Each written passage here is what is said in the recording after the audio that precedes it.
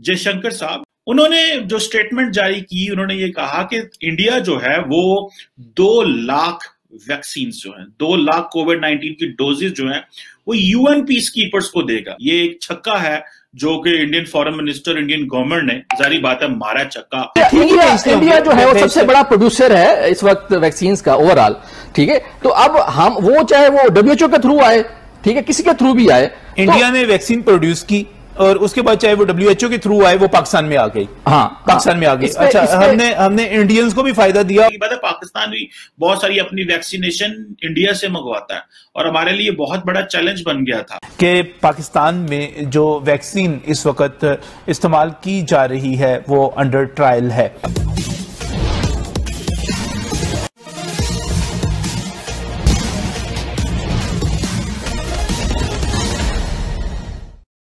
विश्व में vaccine diplomacy से भी भारत का कद और बढ़ा है। अब तक बानवे देशों ने वैक्सीन के लिए भारत से अनुरोध किया है और यह लिस्ट दिन पर दिन लंबी होती जा रही है। अब भारत ने यह फैसला किया है कि पीस कीपिंग फोर्स को, जिसमें पाकिस्तानी सैनिक भी शामिल होंगे, मुफ़्त में वैक्सीन दिया जाएगा। आप लोगों को ज्ञात ही होगा कि पीस कीपिंग फोर्स में विभिन्न देशों के सैनिक होते हैं और जिस देश में अशांति होती है, वहाँ यूनाइटेड नेशन ऑर्गेनाइजेशन के देखरेख में ये सैनिक तैनात किए जाते हैं। लेकिन भारत के इस बढ़ते प्रभाव से चंद देश, जिसमें चीन विशेषकर शामिल है, जलन महसूस कर रहा है। इसी कारण परसों एक झूठी खबर फैला दी गई कि साउथ अफ्रीका ने भारत की वैक्सीन को लौटा दिया है। इस संबंध में कुछ और चर्चा इस वीडियो ब्लॉग के अंत में करेंगे। उसके पहले आइए सुनते हैं कि पाकिस्तानी मीडिया भारत के इस रसूख को किस तरह से देख रही है।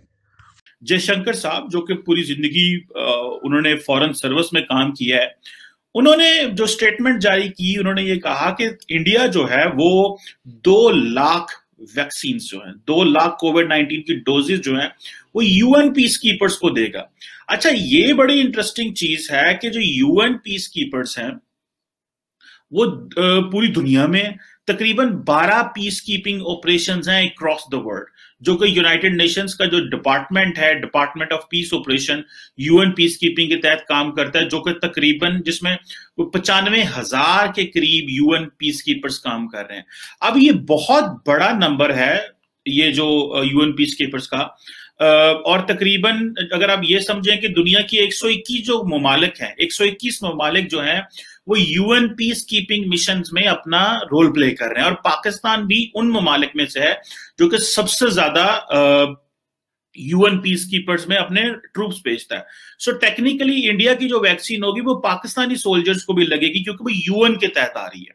सो so, इंडिया uh, की वैक्सीन जो है वो पाकिस्तानी पीस uh, कीपर्स को भी लगेगी। मुझे अब याद तो नहीं एग्जैक्ट नंबर कि कितने पाकिस्तानी पीस कीपर्स और कहाँ कहाँ मिशन में है लेकिन ये एक बहुत बड़ी डेवलपमेंट है।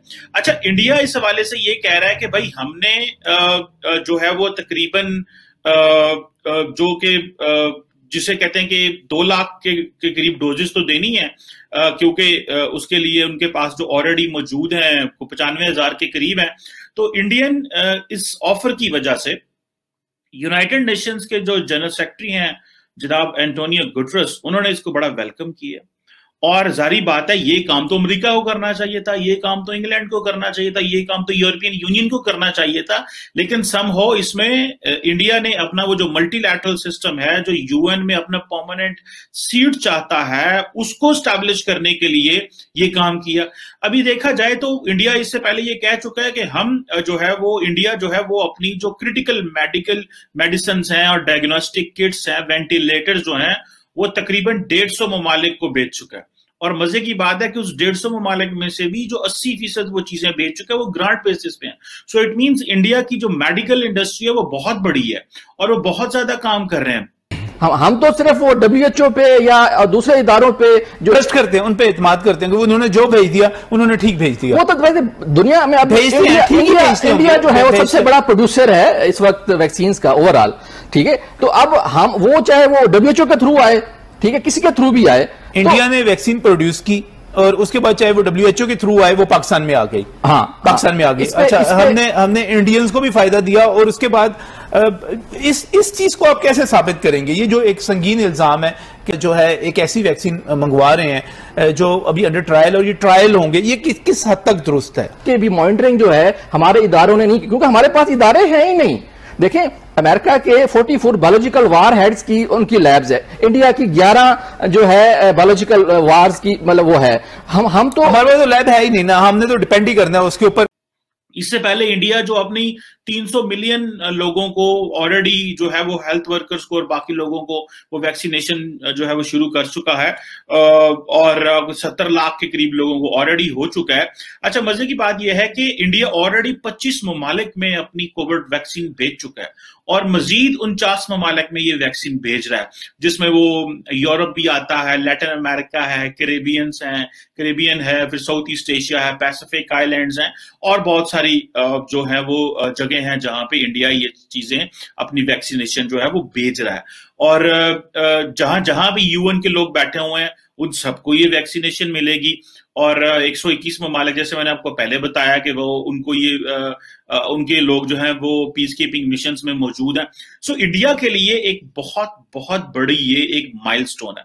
और दूसरा ये है कि जो कोवैक्स है जो global initiative to develop purchase and delivery vaccine worldwide है उसके तहत भी इंडिया अपनी वैक्सीनेशन जो है वो यूनाइटेड नेशंस को और जो बड़े बड़े अदारे हैं उनको दे रहा है ताकि वो जो वैक्सीनेशन है वो हम जो जैसे कहते हैं ना अच्छे तरीके से पूरी दुनिया में डिस्ट्रीब्यूट हो सके। सो so, ये एक ऐसा एक मैं समझता हूँ कि इंडिया को एक एज मिला है और इंडिया की लीडरशिप ने ये एज लिया है। सो so, इस तरह की चीज़ों का जो फ़ायदा होता है वो at the end of the day भले वो योगा हो भले वो नॉन वायलेंस डे का मनाया जाना हो भले इस तरह यूएन पीस कीपर्स को ये जो है देना वैक्सीन देना हो लेकिन इसका सम हो डेफिनेटली इसका एडवांटेज तो इंडिया को है। और इससे जो सबसे बड़ी चीज़ है वो ये है कि इंडिया की जो मेडिकल इंडस्ट्री है वो बड़ी प्रमोट होगी। जो फार्मा कंपनी है, वो बहुत ज़्यादा प्रमोट होगी। और इंडिया जो है, वो अपने आप को कहता है, जी we are the pharmacy of the world ठीक है जी? क्योंकि हम तो पूरी दुनिया में जो ग्लोबल वैक्सीन चैलेंजेस हैं, उसको हम कर रहे हैं, पूरा करने की कोशिश कर रहे हैं। जहाँ जहाँ वैक्सीन चाहिए, और मज़े की बात है, पाकिस्तान भी बहुत सारी अपनी वैक्सीनेशन इंडिया से मंगवाता है। और हमारे लिए बहुत बड़ा चैलेंज बन गया था। मैं इसको personally I find it very much मैं जिसे कहना, छक्का मारना ये एक छक्का है जो कि Indian foreign minister Indian government ने जारी बात है मारा चक्का। जो बात की जा रही है फार्मासिस्ट एसोसिएशन की तरफ़ से और डॉक्टर लायद फॉर्म की तरफ़ से, वो बहुत ही हैरान कर देने वाली है, बल्कि परेशान कर देने वाली है कि पाकिस्तान में जो वैक्सीन इस वक्त इस्तेमाल की जा रही है, वो अंडर ट्रायल है। यानी कि उसके हतमी रिज़ल्ट अभी तक मौसू नहीं हुए और ये यहाँ की यंग फार्मासिस्ट एसोसिएशन जो है pharmacist association drug lawyer form जो है, वो इस चीज़ को ज़िम्मेदारी के साथ बयान कर रहा है कि पाकिस्तान में इस वक्त जितनी वैक्सीन आ रही है, जो हमारे दोस्त मुल्कों की तरफ़ से भी डोनेट की जा रही है वो यहाँ पर हतमी नतज के बगैर कि पाकिस्तान जो है इस वक्त जितनी अंडर ट्रायल मेडिसिन है, उनकी बाकायदा एक तजर्बा गाह बना हुआ है। कैंसर समेत मुख्तलिफ़ अमराज के ऊपर जो तजर्बात किए जाते हैं, उनकी मेडिसिन पाकिस्तान में लाई जाती हैं और यहाँ पर मरीजों पर तजर्बात किए जाते हैं और मरीजों को ये तक इलम नहीं होता कि उनके ऊपर क्या तजर्बा किया जा रहा है? उनको जो दवा दी जा रही है वो असल में उन पर तजर्बा है कि आपको इतनी डोज दी जाए तो आप ठीक होंगे। ये डोज ज़्यादा तो नहीं, इसके मनफी असरात क्या होंगे? यानी कि आपको बिल्कुल एक तजर्बा गाह के तौर पर इस्तेमाल किया जा रहा है। अंडर ट्रायल वैक्सीन आना और इसके बाद इसकी कीमत को डी कंट्रोल कर देना, ये कितना दुरुस्त है ये बात? और इसकी तफसीलात हैं क्या? देखिए, वैक्सीन की जो कीमत है, पाकिस्तान में सैकड़ों दर्जनों वैक्सीन जो हैं, वो मुख्त मुल्कों से इम्पोर्ट हो रही हैं ऑलरेडी कुछ सही। तो और एक अंडर ट्रायल इसलिए मैं कह रहा हूँ कि एक जो ट्रायल का एक जो रिकॉर्ड होता है ट्रायल्स का एक फ़ेज़ होते हैं वो फ़ेज़ अभी तक ना रशियंस ने पूरी तरह पूरे किए हैं, ठीक है, और ना ही चाइनीज़ ने किए हैं। तो अभी बहुत सारे सवाल जो हैं अच्छा फिर दूसरी सबसे अहम चीज़ ये है कि अगर हम एक मुल्क हैं, और हमारे मुल्क में बायोलॉजिकल टेस्टिंग की क्वालिटेटिव क्वालिटेटिव एनालिसिस की कोई लैब ही नहीं है। हमारे मुल्क में जितनी भी इवन के हेपेटाइटिस की वैक्सीन है, उसकी भी टेस्ट की हमारे पास फैसिलिटी नहीं है। एक तरफ़ तो भारत अपने देश के लोगों को वैक्सीन उपलब्ध करा ही रहा है, दूसरी तरफ़ बाहर के देशों को भी वैक्सीन उपलब्ध कराने का बीड़ा उठाया है। भारत ने अपने सभी पड़ोसियों को, केवल पाकिस्तान को छोड़कर, मुफ़्त में वैक्सीन की सौगात दी है। इसी तरह डब्ल्यू वर्ल्ड हेल्थ ऑर्गेनाइजेशन को भी भारत दस लाख डोज वैक्सीन मुफ़्त में उपलब्ध कराएगा, जो गरीब देशों में फिर वितरित की जाएँगी। खबरों में आप लोगों ने सुना ही होगा, पाकिस्तान इसी डब्ल्यू के वैक्सीन के इंतज़ार में बैठा है, क्योंकि क्योंकि चीन से जो उसको वैक्सीन दिया गया है, वह केवल उसके फ्रंट लाइन वर्कर्स के लिए ही प्राप्त होगा। जैसा कि चर्चा में मैंने प्रारंभ में कहा कि अब भारत सरकार ने फैसला लिया है कि वह पीस कीपिंग फोर्स को भी वैक्सीन मुफ़्त में उपलब्ध कराएगा।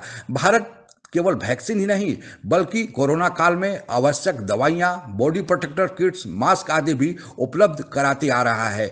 गरीब देशों को मुफ़्त में और अन्य देशों को वाणिज्यिक स्तर पर यह सब उपलब्ध कराए गए हैं।